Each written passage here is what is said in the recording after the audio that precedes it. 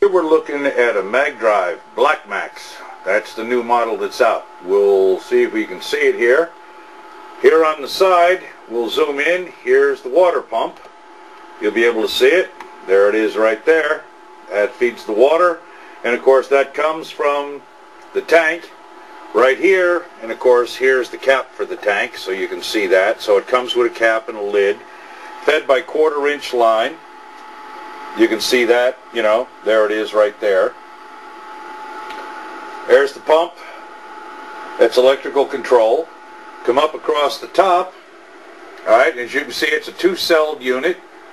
The far outbound, the close outbound, with the two water level sensors and solenoids right here in the middle. Of course, when the water goes down, the solenoids open up from the level sensor switch and they turn the pump on and then the water comes from the pump which is down here. Water comes out of the pump, goes on up, and follows its way around and comes to a Y junction right here, or T junction, whatever you want to call it. And one goes to one solenoid, and another one goes to the other solenoid. And if we follow the outbound line, let's see if we can get it on here. We'll follow it around. As you can see it, no condensate in the line, no boiling water, nothing like that. And we'll just follow that line all the way on up. And there we go to the flow gauge. And let's see if we can zoom in on that. And she's sitting there right now. Oh, it's bouncing between 3 and 6 liters per minute. And of course we'll follow the outbound line down and this is static now, no vacuum on it. And we'll come down here and there it is inside just a water container. You know me with my usual water containers. They're cheap, they're easy. Why be fancy when you can be practical? And you can see those are rather large bubbles coming up out of there. And that all is taking place on a power supply without the battery hooked up because there's the positive side. And the power supply right here is running at let's zoom in for you. This is amperage. And see if we can get it to zoom in and unblur itself. There we go. We're running at approximately 19 amps and voltage wise, I'll hit the voltage switch. At 13.5, 13.6 volts, 19 amps. So that'll give you a general idea. Okay, and there's the outbound right there. You can see the size of the bubbles coming out of it. Pretty good size. And to prove that it is hydrogen, we're going to go boom. We're going to set some of it off. See if we can get this thing to work. There we go. I got so much stuff in the way and I'm not ambidextrous and I don't have three hands.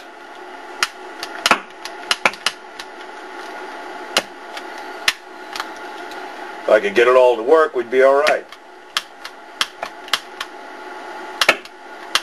Well, you can hear it pop. There we go. There's a nice little crack.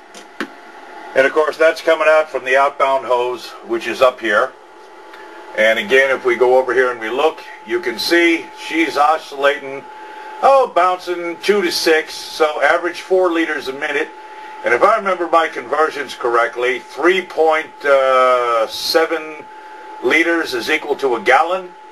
So we're doing, oh, a gallon a minute in HHO on a static environment with no vacuum coming directly out of the unit, which I'll come back here and we'll get a look at the unit from the front side. I'll zoom out a little bit. And you can see from the front side, it's 14 and a half inches tall. Its overall width from side to side is a total of 12 inches. And we'll go down here and make it a little smaller so you can see it. It's 12 inches wide. Overall width on the body uh, is five inches, but with the relays and the solenoids, it's about six and a half inches, seven inches uh, deep. Okay, and here's what the back side looks like. And on the back side, what you do is you mount your L brackets down to the bottom on these three studs and hook them to the studs on the bottom and then you can bolt it directly into the side of a firewall, a fender clip, a brake, uh, a brace of some type, or even in the back of an automobile. All right, and you can do it there. And of course, here's the pump here, and this is on a bench, of course, but underneath, you can see underneath the anodes or the cathodes underneath, you can see those all the way under there. And of course, if we come around and we look up above, you can see the anode connections, which are right there, all right, left and right. And they come to a common lug point there on that black uh, polypropylene uh, like uh, bar there. They come in there so they're uh, neutralized so they don't short out. And of course, comes with a Y fitting, comes with the safety flashback valves, which you can see right here and right there. And of course there is your relays. This is for water level sensor and pump. This is for, oh, I'm sorry, this is the power relay. Excuse me, I'm looking at the camera, it's backwards. That's the power relay. This is a water level sensor right here. All right, relay, and uh, for the pump. And so's this one on the end. And this one in the front controls the power to the whole unit, which is controlled from your power switch off of, uh, hopefully you use an ATA circuit. But that's what the Black Max looks like by MagDrive. This is for larger units. Uh, you can use this on engines that are 8, 9, 10, 13 liters. Okay, is where you use these because with this output, as you can see, as we'll zoom in, and this is static with no vacuum on it. As you can see here, it's averaging, oh, 4 liters a minute because it's pulsing between 2 and 6. So that's 4 liters a minute at 19 amps and, oh, roughly 13, 13 and a half volts.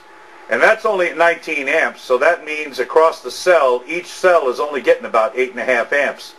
You can actually run this all the way up to 25 amps, which will give you probably in the neighborhood, oh, I would say of, uh, oh, easily 8 liters a minute, which would be close to 2 gallons, so that's not too bad. But anyway, that's the MagDrive, that's the Black Max, and you see it right there. Any questions? You can always call us. Our number's on our website. And of course, uh, you can always reach us at www.fuelfromh2o.com. And that's about it. So thank you for your time. Appreciate it. Take care and have a nice day. Bye-bye.